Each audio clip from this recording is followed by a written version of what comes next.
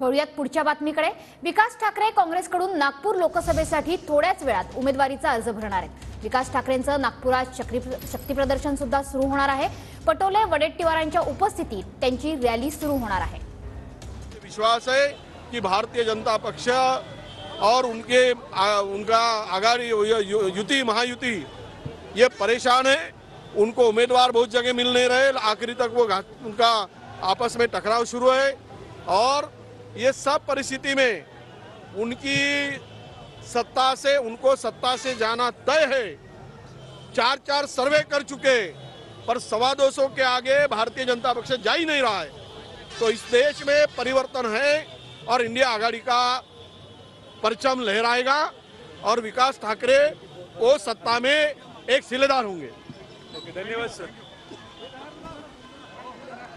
पैकी विकास ठाकरे हे आज लोकसभा उमेदवारीचा अर्ज भरतायत.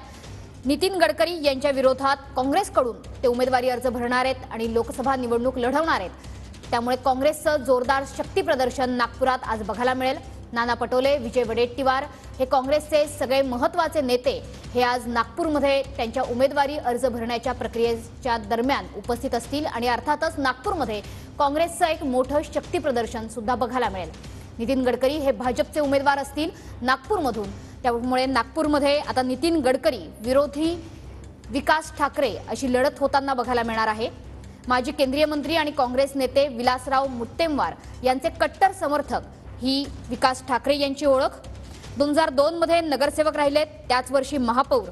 महापालिकेतले विरोधी पक्षनेते ही सुद्धा पदं त्यांनी भूषवलेली आहेत.